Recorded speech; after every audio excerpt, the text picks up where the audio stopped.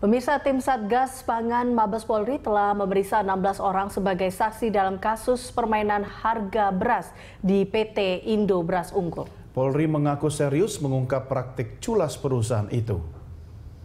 Kepala Divisi Humas Mabes Polri sekaligus Ketua Tim Satgas Pangan Nasional, Irjen Polisi Setio Wasisto mengatakan, polisi masih terus menyelidiki sejauh mana dugaan beras oplosan berskala besar tersebut beredar. Dijadwalkan hari ini polisi memanggil delapan orang saksi dari pihak PT Ibu sebagai pengelola perusahaan. Setio membantah adanya tudingan yang menyebutkan kasus itu cenderung dipaksakan. Menurutnya polisi memiliki alat bukti yang cukup untuk melanjutkan proses hukum meski hingga kini belum ada tersangka yang ditetapkan dalam kasus itu.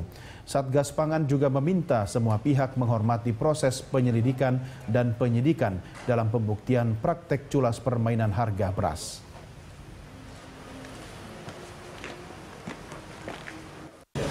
Jadi Satgas Pangan tetap uh, akan mengklarifikasi, ya, tetap menjunjung tinggi asas praduga tak bersalah dan mengklarifikasi semua keterangan saksi, alat bukti yang ada dan uh, nanti baru disimpulkan pelanggaran-pelanggaran uh, yang di, dilakukan.